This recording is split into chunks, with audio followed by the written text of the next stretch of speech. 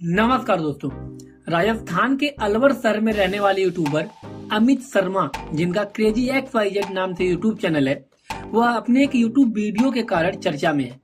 इस वीडियो में वह अपनी टीम में काम करने वाले दोस्तों के लिए आईफोन 14 गिफ्ट करते हुए नज़र आए। अमित ने जब इन दोस्तों को महँगा फ़ोन गिफ्ट किया तो सभी का रिएक्शन देखने लायक था। क्योंकि अमित के कई वीडियोज़ में प्रैंक होता है ऐसे में उनकी टीम के साथी एक बार भी यह मानने को तैयार नहीं थे कि उन्हें महँगा आईफोन 14 गिफ्ट किया जा रहा है। अमित शर्मा का क्रेजी एक्स वाई जेड नाम से यूट्यूब चैनल है और इस चैनल पर उनके ढाई करोड़ सब्सक्राइबर्स हैं, यानी कि 25 मिलियन से भी ज़्यादा। अपने ताज़ा वीडियो में अमित ने कहा कि उनकी टीम के सभी लोग बहुत मेहनत करते हैं और ऐसे में उनके लिए यह सरप्राइज़ देना बहुत ज़रूरी था। बता दें कि अमित ने आईफोन 14 के विभिन्न मॉडल के छह फ़ोन खरीदे और इनकी बिलिंग सात लाख तिरपन हज़ार रूपए के आसपास हुई थी।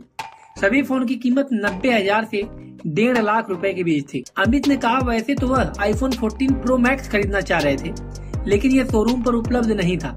अमित ने एक आईफोन 14 पहले से ही खरीद रखा था। अमित सबसे पहले अपने साथी विकास को आईफोन 14 गिफ्ट करने गए, पर विकास को यकीन ही नहीं हुआ कि उनको फ़ोन मिल रहा है।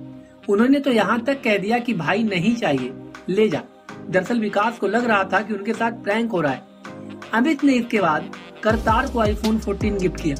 लेकिन उन्हें भी यकीन नहीं हुआ। करतार ने तो प्रैंक समझकर फ़ोन को ज़मीन पर पटक दिया और ऐसे ही गिफ्ट देते हुए अमित, राहुल और अंकित के पास पहुँचे। लेकिन ये दोनों भी मोबाइल को अनबॉक्स करने के लिए तैयार नहीं थे।